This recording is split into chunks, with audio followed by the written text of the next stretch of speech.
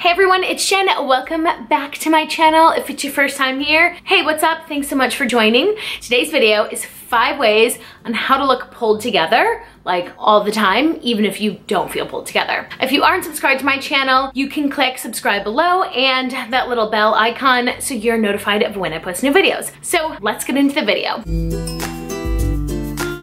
Number one, always do your hair. Whether it is something like a, like you just straighten it or you do some waves or a super easy top knot or a low ponytail, which like I barely have a ponytail that way, do your hair. If a top knot is always a great option and takes like 2.5 seconds, if you want to know how to do an easy top knot, especially for hair this length, then um, I'll put the link below for you or the little I button up here so you can see my tutorial. Number two way, my secret for always looking pulled together is wearing all black. Sounds depressing, I know. It is not, and you always look like dressed up. You always look pulled together. All black. Black top, black pants, even some black shoes, and you look chic head to toe because that's what all black does. If you go somewhere and you feel like you're not dressed up, if you're wearing all black, you kinda are. And if you feel like you're too, like all black is never too dressed up or too casual, it just always makes you look great. My third tip is to wear a statement earring. I'm wearing these white ones today.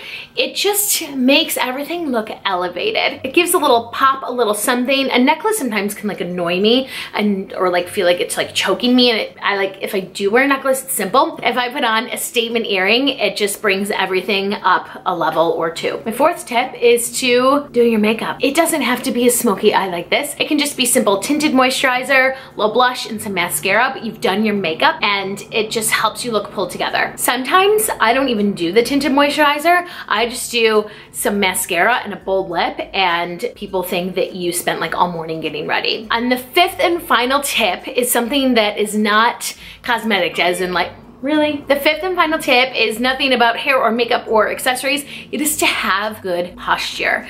It was drilled into me as a former gymnast, but I've been told recently, and I guess kind of always, that I have really great posture. And it is something that it always makes you look confident and pulled together. So ask your friends, ask your boyfriend, ask your husband, whoever, ask them what your posture looks like, or to take a picture when you're not paying attention, because if you're like this, just like a little bit drives me nuts. By the way, when people are like, their shoulders are like this, just pull your shoulders back and down and you have great posture. So if you work on your posture, it'll pull everything together from head to toe. So those are my five tips for always looking pulled together. I hope you enjoyed this video. If you did, please give it a thumbs up. Don't forget to subscribe. I hope you have an amazing day and I'll see you in my next video. Bye.